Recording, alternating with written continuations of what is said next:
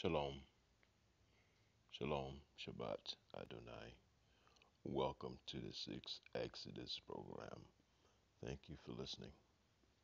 The name of this segment is The Judgment for Pretending to be Israel upon the inhabitants who say they are Israel. This is the judgment for those who pretend to be God's people. I want to read to you the book of Isaiah, chapter 1, in its entirety, and there will be no comments. Before we start reading, I want to say the Most High does not delight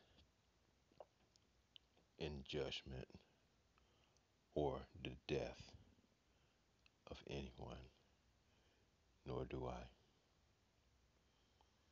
And those who love righteousness does not delight in the death of those who are innocent, and nor will God bring judgment upon the innocent, because God is holy and He is a righteous God. The Holy One is true and He is faithful. Okay, now let us begin. I will read the the book of Isaiah, the prophet of God, the book of Isaiah, chapter 1 in its entirety. And there will be no comments at the end of this segment.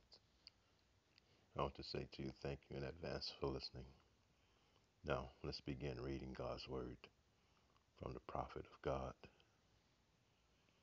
The vision of Isaiah, the son of Amoz, which he saw concerning Judah and Jerusalem in the days of Uzziah, Jotham, Ahaz, and Hezekiah, kings of Judah.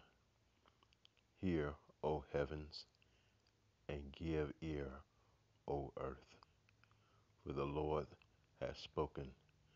I have nourished and brought up children, and they have rebelled against me. The ox knoweth his owner, and the ass his master's crib. But Israel, the inhabitants of Israel, of Judah, Jerusalem, the inhabitants of Jerusalem,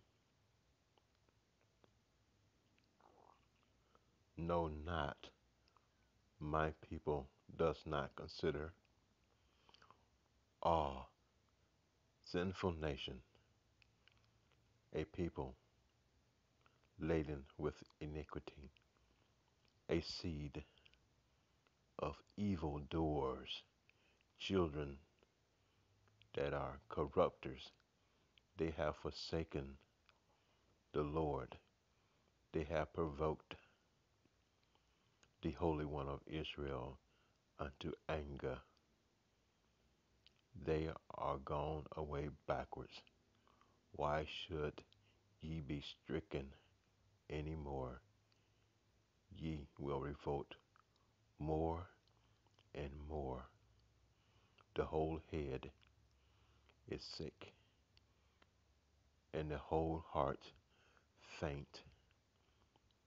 From the whole sole of the foot even unto the head, there is no soundness in it, but wounds and bruises and petrifying sores. They have not been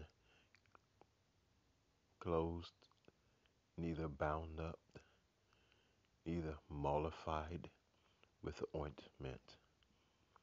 Your country is desolate, your cities are burned with fire.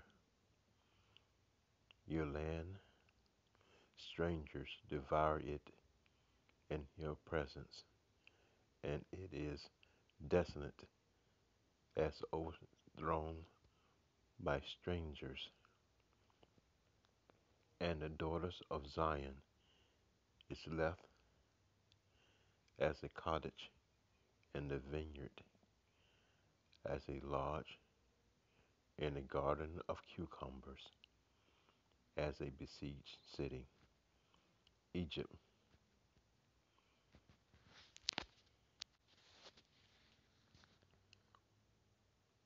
the Lord of hosts, had left unto us a very small remnant. We should have been like unto Gomorrah. Hear the word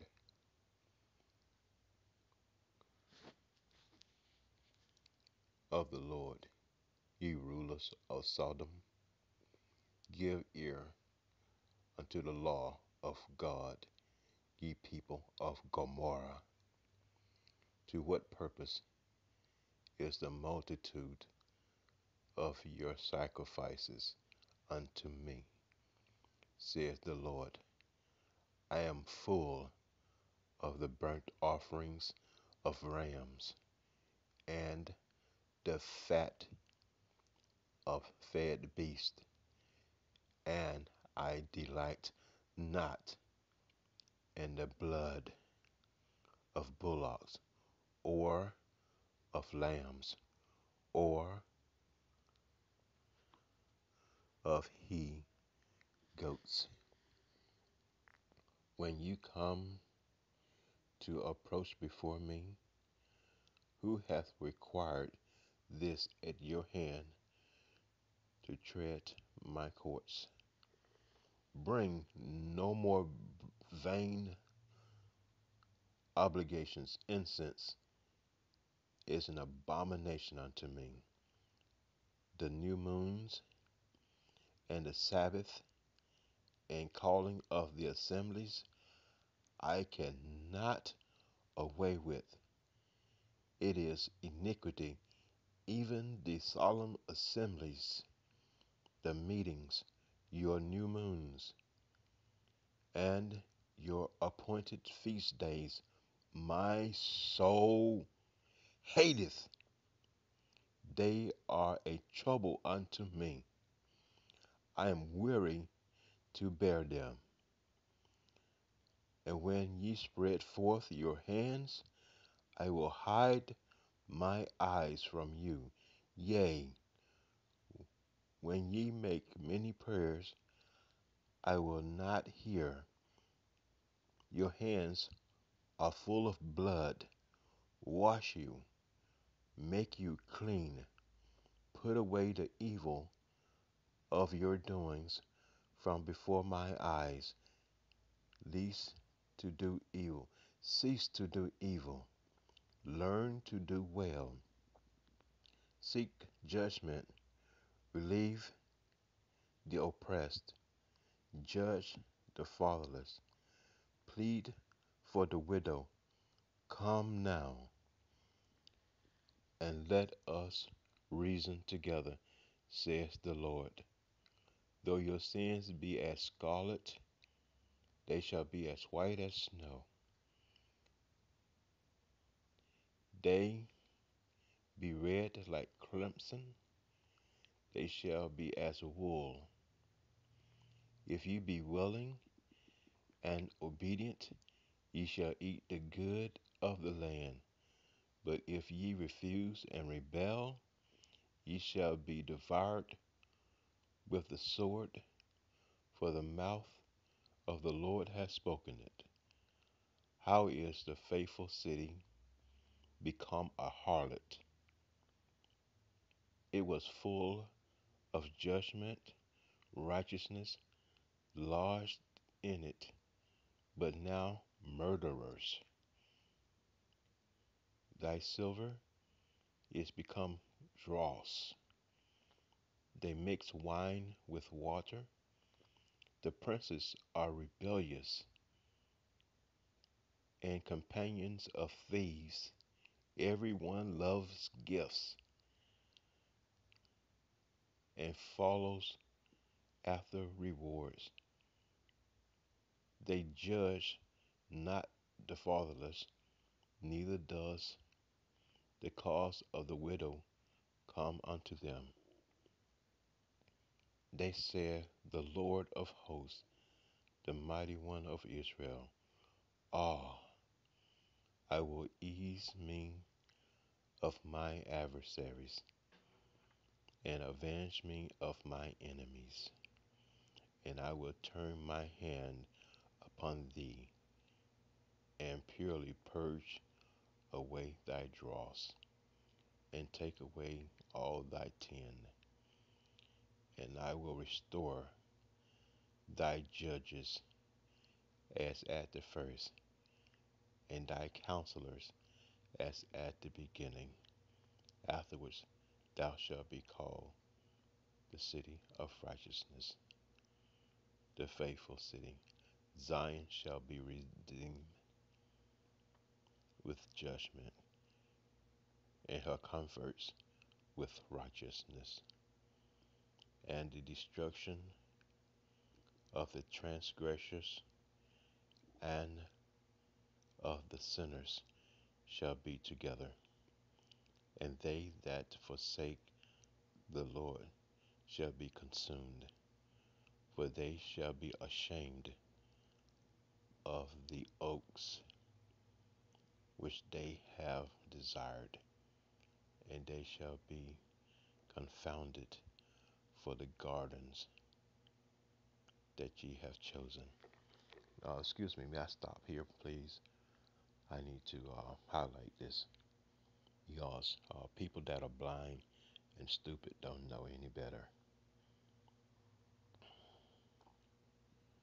The Lord here is saying to you, uh, inhabitants of Jerusalem, He's saying, You're going to be ashamed because of the idols you have made in Israel. Let me tell you, you know all your idols, so I'm not going to name them for you. Uh, but I will explain this to you. He's saying, The oaks means the trees. Trees means pictures because you use pictures. Oak trees means paper, and paper means pictures. Pictures means images. And the gardens are your gardens that you made, your groves. And you know the Lord do not like groves. And these are your idols by high faith and all the um the gardens that you've made, all the bushes and all those things you made, all the pretty little groves that you've made, all those idolatries. This is what the Lord is saying to you, ignorant people. For ye shall be as an oak whose leaf fadeth, and as a garden that hath no water. And the strong shall be as tow, and the maker of it as a spark, and they shall both burn together, and none shall quench them. This ends the segment of the punishment of those who pretend to be Hebrew and take on God's name, Israel. Thank you for listening. Have a good day.